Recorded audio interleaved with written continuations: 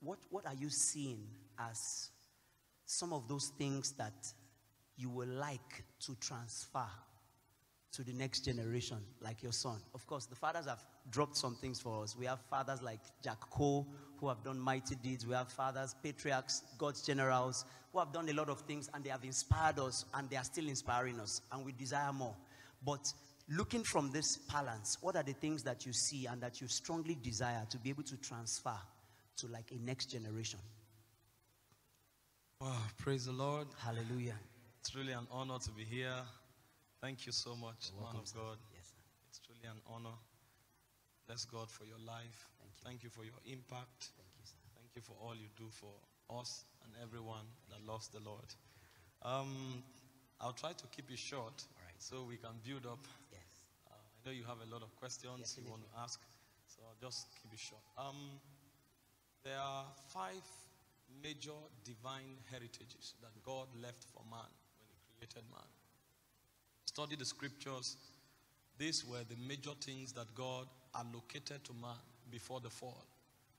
When Jesus came, these five things were the same things He restored man to walk in. So it's something that every generation must carry experientially if there will be a hope for that generation. Genesis chapter 1, verse 26, it said, Let us make man in our own image after our likeness. Those were two things. Number one is the image of God. The image of God is the glory of God. That is what defines his being. And the second thing God allocated to man was his essential attribute. That is his likeness. In Genesis 1:28, he said, Let them have dominion. The third thing is authority.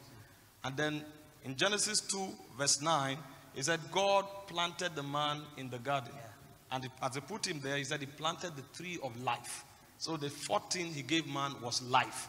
And in Genesis chapter 3, verse 9, we saw that in the cool of the day, the voice of God came walking in the garden. So the 15 was intimacy. Hmm.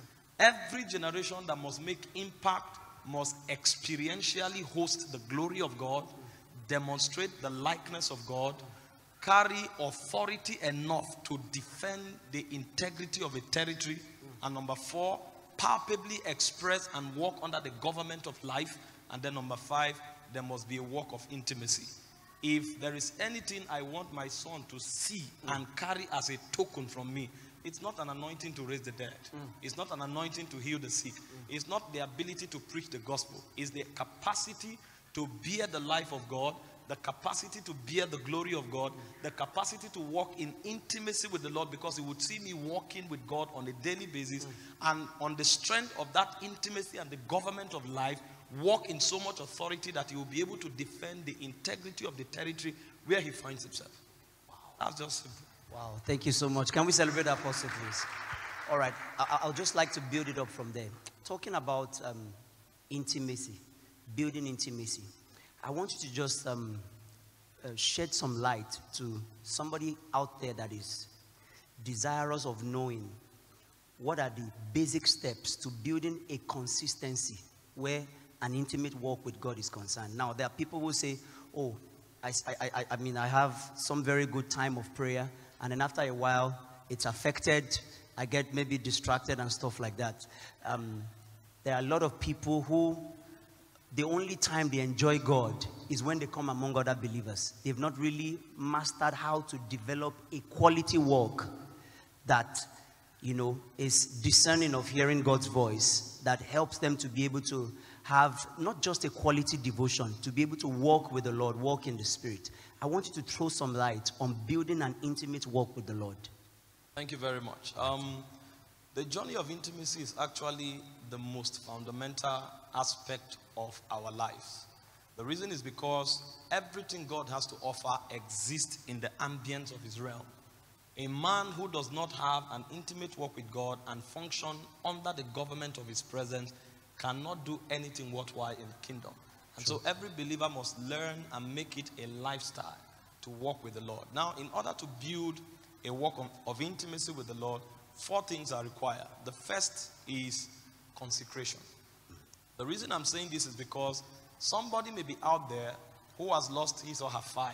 Mm. And so you cannot just begin from the organic dimension. And when I talk about the organic dimension, I'm referring to the life protocol that mm. flows from within. Mm. Because consecration is something you begin from the external, but eventually it will transfer from the external to the internal.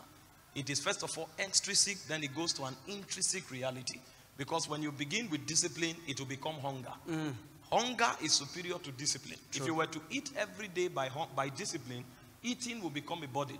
But because of the alarm system, intrinsic alarm system of hunger that is on your inside, whether you are disciplined about it or not, hunger will ensure that you look for food every day, Yeah. be it young or old.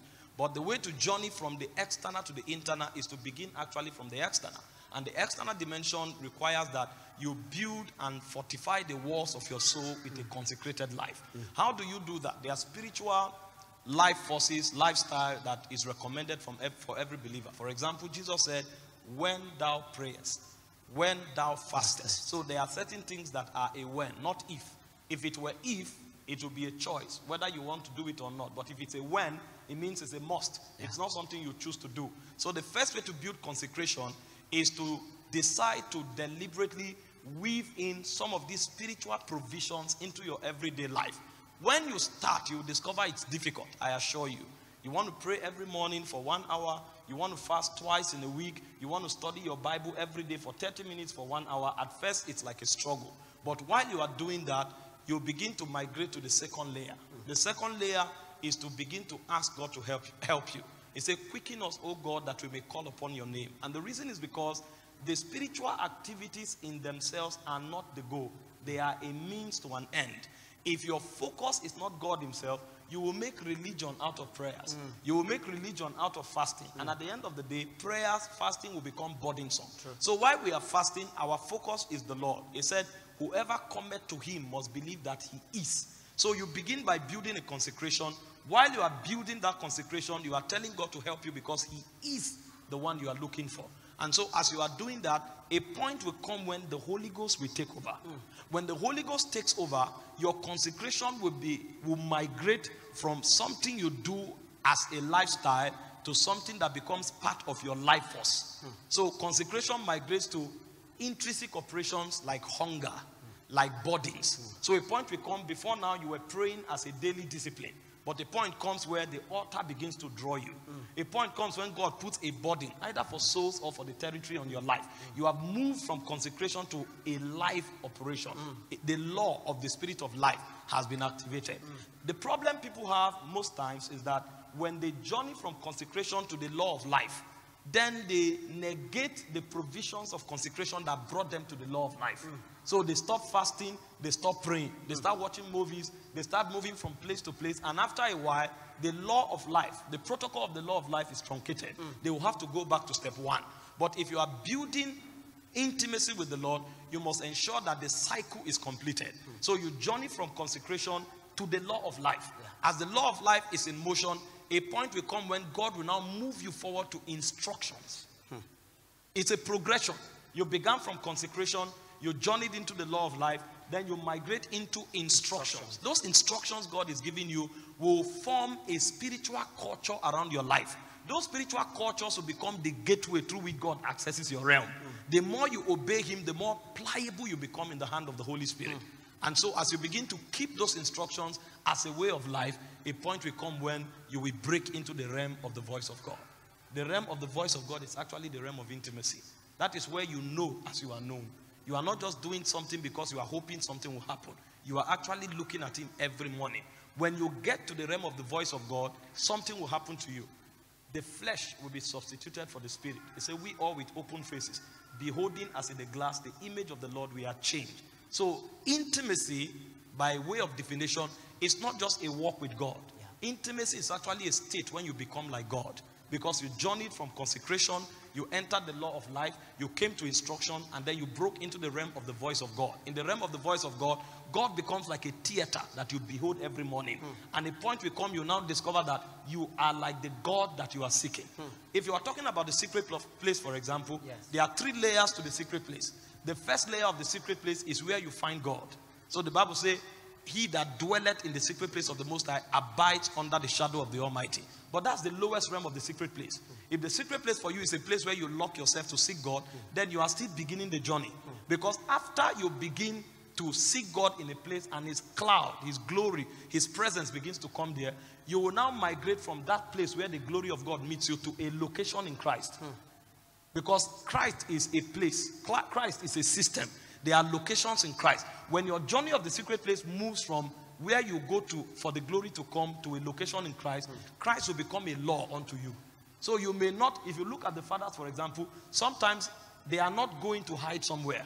But while they are walking in their daily life, they are walking under a government. Because these ones have entered a place. You know, the Bible said He has given us all spiritual blessings in places in Christ Jesus. So this guy is not going to a place where the cloud comes. He has found a niche in Christ Jesus. And then a point comes when, as you walk under that law, you will now get to that point where he is in you and with you forever. So you become the presence of God.